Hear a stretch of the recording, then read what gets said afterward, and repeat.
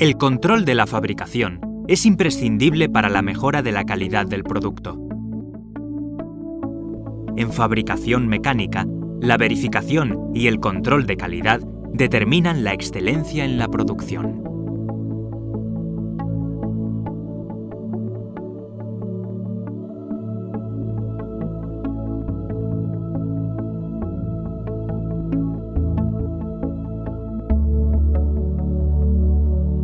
Ya a la venta en libreriacirculorrojo.com.